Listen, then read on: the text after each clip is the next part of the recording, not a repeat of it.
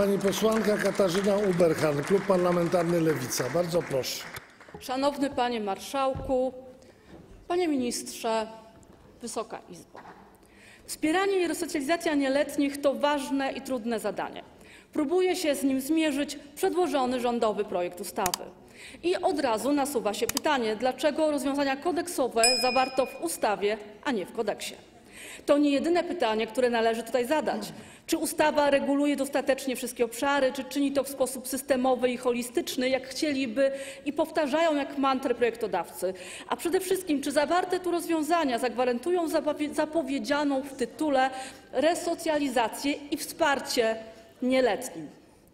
Za nami praca w podkomisji i komisji, a ustawa nadal zawiera błędy obecnie obowiązującej ustawy o postępowaniu w sprawach nieletnich. W dużej mierze utrzymuje status quo.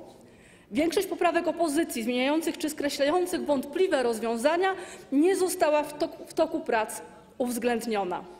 I tak, te rozwiązania to niedostatecznie wykorzystano środki alternatywne do postępowania sądowego, brak gwarancji, że detencja dziecka będzie miała charakter środka stosowanego jedynie w ostateczności, utrzymano dwie granice wieku, co może prowadzić do nierównego traktowania dzieci, brak odpowiednich środków chroniących nieletniego przed konfliktem interesów z jego rodzicami, brak kompleksowego podejścia do kwestii usamodzielnienia wychowanków placówek dla nieletnich.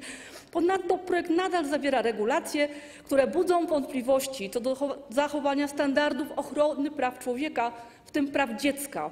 Obligatoryjne stosowanie kontroli osobistych przy przyjęciu nieletnich do zakładów poprawczych, możliwość ograniczania kontaktów z rodziną, obligatoryjne stosowanie kajdanek przy konwojowaniu. Poza tym projekt tworzy nowy typ ośrodka wychowawczego, ale nie zawiera rozwiązań, które wspomagają już istniejące placówki wykonywanych przez nich prac.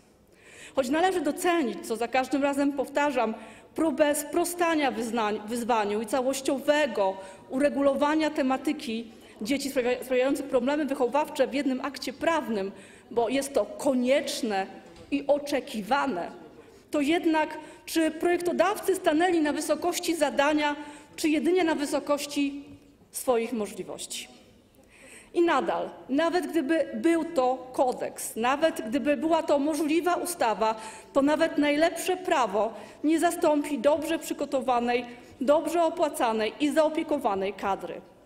Każdy system, bez względu na to, jak dobrze pomyślany, jak dobre nie były przepisy go tworzące, będzie tylko lub aż tak dobry, jak tworzący go, pracujący w nim i na jego rzecz ludzie, a ci zostali przez ten system zapomniani.